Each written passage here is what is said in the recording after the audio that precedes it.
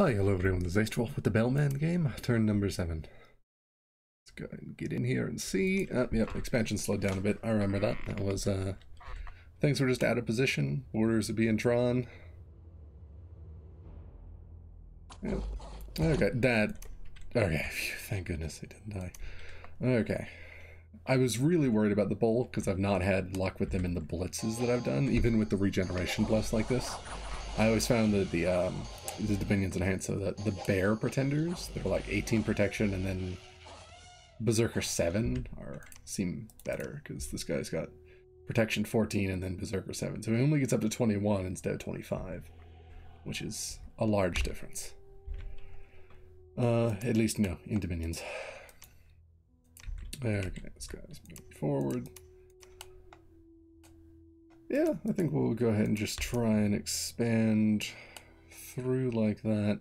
Those barbarians will rip my god to shreds. Uh, yeah, eternal pastures.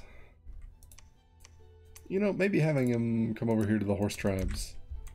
And then these guys will just kind of get into position. Actually, will be a little bit better. Yeah.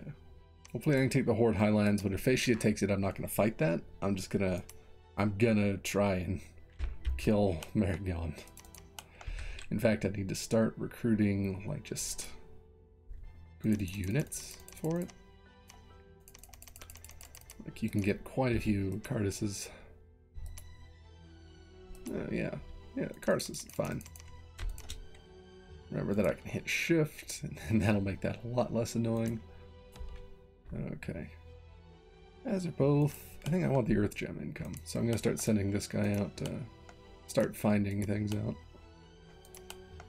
Okay, got the palisade being built up there, so we'll send you out to build some uh, infrastructure, start building a palisade over this way, and I think that's where we'll call it for this turn. See you next time.